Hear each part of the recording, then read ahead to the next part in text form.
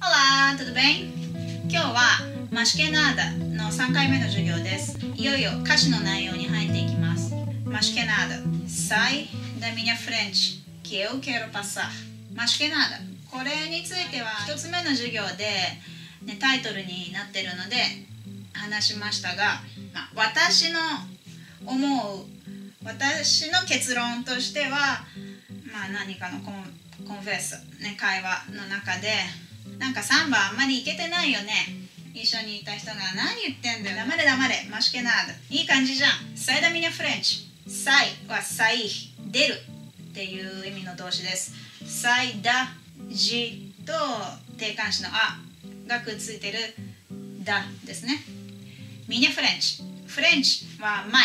女性系の名詞ですので私の前。でミニャフレンチ。だから私の前からどいて。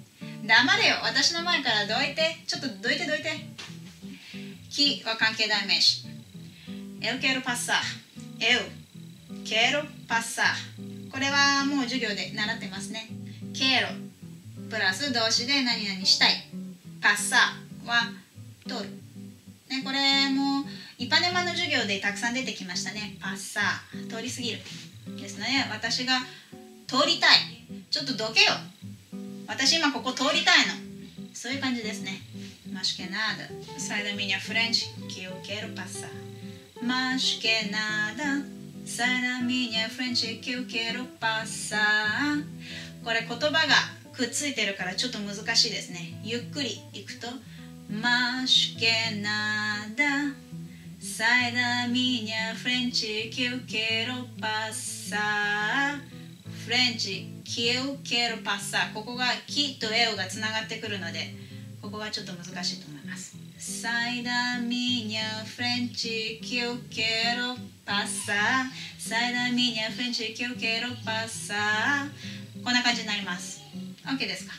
次のフレーズは「ポイズサンバしたアニマード」ポイズは何々なのでみたいな感じ？なのでそこどけよっていういうののに対しての理由を言ってます。ポイズサンバ。エシタアニマードアニマードは賑やかとかイエーイ。楽しい感じ。なのでサンバこんなに楽しいんだから私の前にどいて。踊りたいの。って言ってます。Pois samba está animado Mas que nada sai da minha frente que eu quero passar ポイサンバイシタニ次もいっちゃいましょうか。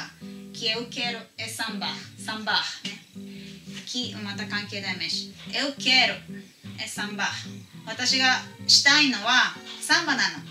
私はサンバ踊りたいのよ。マシケナダサイダミニャフレンチキュケロパサポイサンバイシタニマドキエウケロエサンバそんな感じ。じゃあまた次回の授業までお楽しみに。チャオチャオ。ベージュ。